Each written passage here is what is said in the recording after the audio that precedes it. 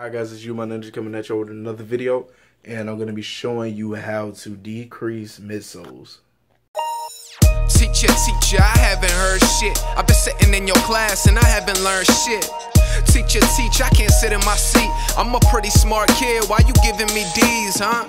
Teacher, teacher, somebody gotta say it. What they teaching you to teach me is all outdated, it's all out crazy. Truthfully, I know you're not a fan of this. Fuck your lesson plan and your algebra and calculus now. Teacher, teacher, I ain't gonna lie. I ain't really focused cause my uncle just died. And my daddy keep drinking and my mama keep crying. And I swear it's getting worse, but I know to keep quiet. Teacher, teach, you ain't giving a fuck. I understand though, they ain't really pay you enough. Ta-da! Alright, so we're finna get into the materials. Of course, you're gonna need the shoe that's being worked on, a towel, an iron, really essentials, major key alert, and I suggest having a spray bottle filled with cold water. If you don't have a spray bottle, then you could just use a container that has cold water in it. Alright guys, so first what you're to want to do is you're to want to start heating up your iron. The mold that you should have your iron on is cotton.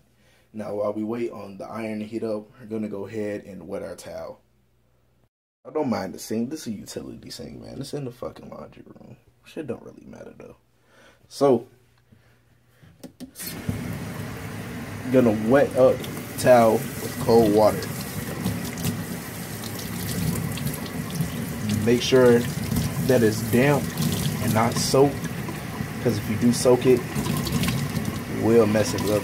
You will mess your shoes up. Alright guys, before we start, I really want to stress that this method does not only work on sevens. It actually works on almost any shoe that you could think of, but it doesn't work on 11s and I don't recommend using it on 13s. Alright, so to start us off, we're to take the damp towel, just fling it over the midsole. Fling it over the whole shoe, you know what I'm saying? Get it on now. Go ahead and get your iron a little test, make sure that it's hot.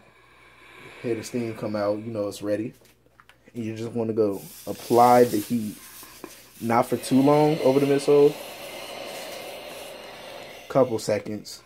Don't leave it there because if you do leave it on the midsole, it will heat up the glue that's uh bonding the sole and the uppers together. So then a whole bunch of sole separation. You don't want none of that. Go ahead and give it give it some steam and keep it going. You show up, you ain't appreciated enough. And half my homies skip class just to face them a blunt. I know there's things in my life I can't control. No same old